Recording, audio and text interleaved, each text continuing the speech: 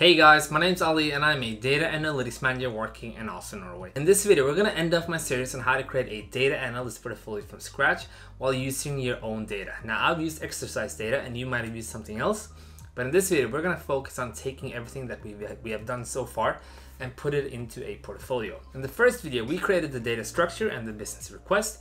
In the second video, we created the data model. In the previous video, the third one, we created the dashboard with some calculations. And in this one, we're gonna take a lot of content from there, we're gonna put it into a portfolio and create a story around it so that you can demonstrate how you have taken the, the entire process of data analysis from the beginning to the end so that you can showcase that to someone else. But that's enough talk. Let's take a look at the portfolio and let me show you guys what I have created so far. So this is what my example portfolio looks like right now. I have a welcome page where I just tell you guys welcome because I just want you guys to know that this is an example portfolio.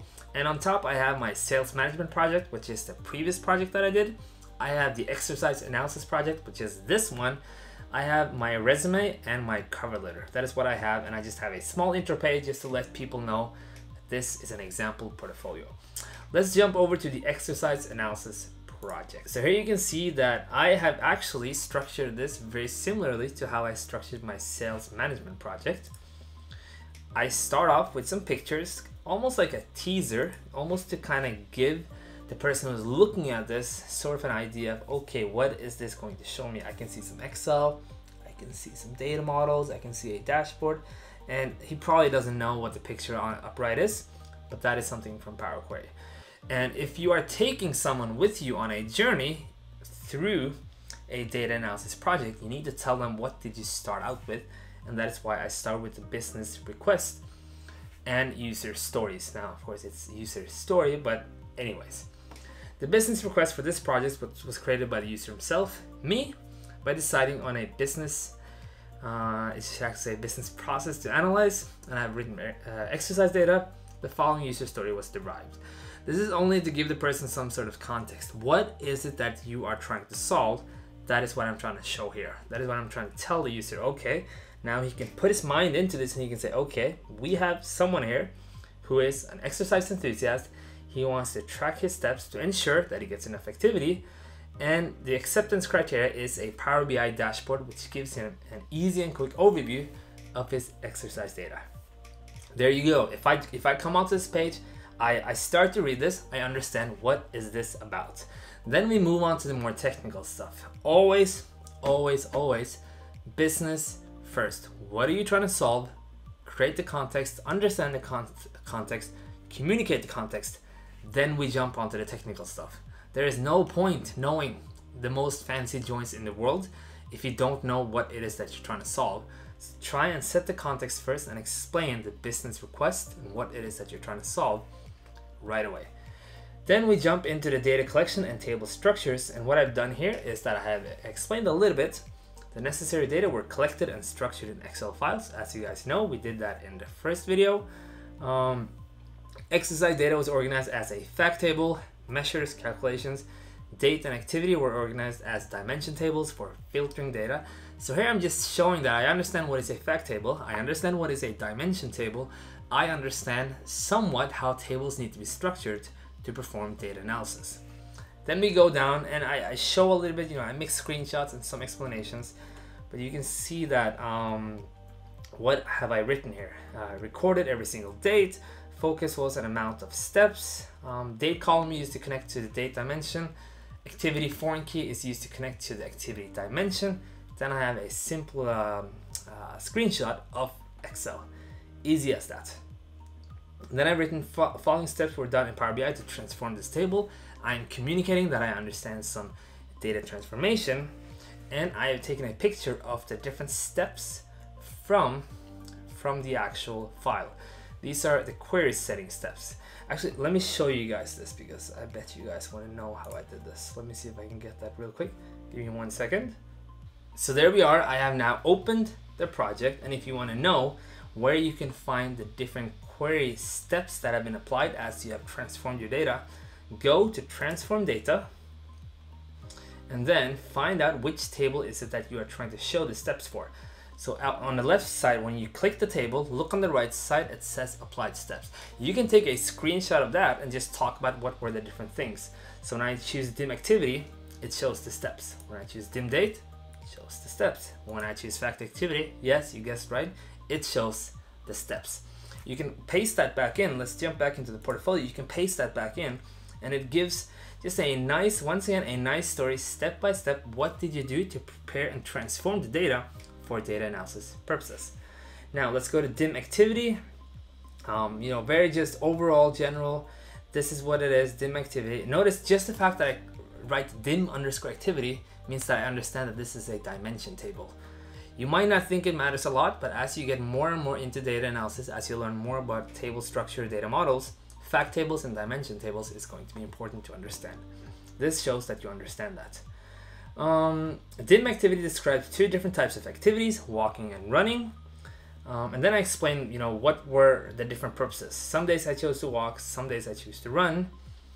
Um, and I also pointed out some minor data issues in the table. In this table was later cleaned up and corrected. And then when you walk down, guess what? You see the different steps. I have explained what were the different steps. What do they what do they correct? I am explaining my transformations. I am taking whoever wants to read this on a journey from the beginning through the transformations and we're going to keep going like this until we come to the actual dashboard. Um, dim date, same, same things. Pictures of the settings, uh, the query settings, pictures of the steps, explaining what am I doing. Then I go into the data model. I have a picture of my data model. Um, if you want to know where you find that, um, we can go back into Power BI and then, excuse me, there on the left side, model view, here you have the data model. Keep your calculations table out of this. Just take the data, just take the data model. Um, and what I've uh, explained is um, we can see that the fact table is connected to two dimension tables with the correct relationship established, one to many between dimension and fact tables. That is a detail that I like to throw in there. You don't have to. Um, it just tells you that you understand the relationship between the dimension tables and fact tables. You could even point out that the fact table is on the bottom, the dimension tables are on the top. That's also something which is a best practice in Power BI because the dimension tables are filtering down to the fact table. So visually it makes a lot of sense. If if I read this portfolio and I saw you do that, I would know that you understand dimension tables and fact tables and I would understand that you know how dimension tables filters downward to the fact table. Once again, small nuances, but it creates a story and I can I can kind of start to think, okay, what is this person thinking? Okay, he started out with a, uh, with a case, and now I can see what is he doing with the data. This is how it's structured. This is the model. Okay, great. Let's jump into the calculations. so what I've done here is I have just gone in and let's jump over to the report view and on the different calculations I have simply gone in I have looked at what is the calculation copy paste schmack put it in there and just try and type some small um, some small notes around it um, everything, the following cal calculations were created in Power BI in the Power BI reports using DAX, data analysis expressions. So I know what, what is the expression language of Power BI. Also something that I know you guys don't hear that often about, DAX, level of details, set analysis. Set analysis is in Qlik, level of details is in Tableau, DAX is in Power BI. Power BI. Very, very powerful stuff. It can save you a ton of time in terms of data analysis. It can save you a ton of time in terms of trying to figure out advanced things in SQL that you can do in DAX. And this is a language that evolves as data analysis is also evolving. So if you scroll down, average steps, and I've written just a little bit about it. This is a simple average function, total steps, simple sum function.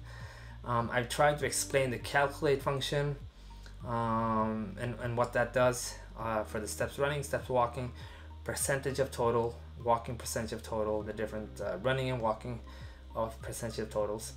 I've even taken in my cumulative measure and my week over week change. Here I have decided um, to keep it fairly simple because they get a little bit longer. There are different functions at, at one time here. It's gonna be to come too much for the end user. But what but he gets it. This is a little bit more advanced. There are functions. Okay, you know, uh, in the last one I've even included some variables um, yeah, it's, it's, it's just more complicated, and I, I don't want it to be a long text explaining the, the calculation. If someone if someone reads this, they want to know more about what I can do, we can talk about it. I can explain it, but there's no point writing a dissertation about week over week percentage change of steps. That's fine. Um, and the last part, the last part of the story is to show them the dashboard. We want them to be able to see the, the dashboard, go in and click around. So what I've written, exercise analysis dashboard, finished report consists of two different dashboards. One is more of a basic version, while the second version contains more advanced visualizations. Um, to enable these visualizations, the calculate, calculation language DAX, as I said previously, were used. Click the picture to open the dashboard and try it out. So I've taken a picture of the basic version and the advanced version, and I can say that I have forgotten to add a link to the advanced, but that is only a page um, uh, right next to the basic. So if I click this, it's gonna open up and you can see here, I can click around. I can, you know, I can play around with the dashboard. I can go to the second page. I can see the more advanced and, and the user can kind of see himself what it is that you have created and it just gives such a better kind of ending to the story. He can go in and he can play around with it. He can click around. He can see that this lives. It makes sense. He can look at the numbers if he wants to, you know, know more about the results of what you what you collected.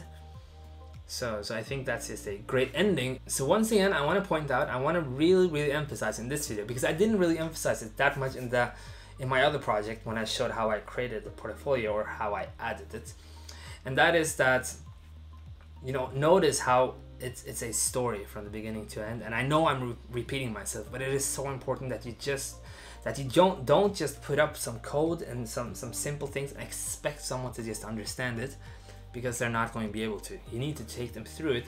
And if you are going to present it to someone, this is so much easier to present because it is structured as a story. If you guys want to see how I assemble this, how I put this together, check out the video in my link. I used the exact same process as I did for my sales management project, except there I spent a lot more time. I emphasized the building process.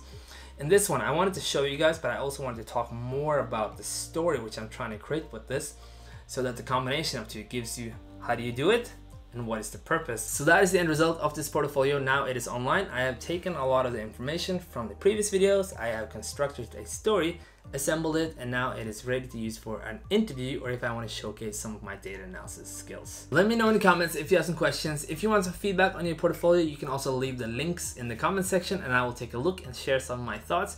Other than that, if you like this video, then give it a thumbs up. If you want to see more videos on data and analytics, then subscribe to my channel and I'll see you guys in the next video.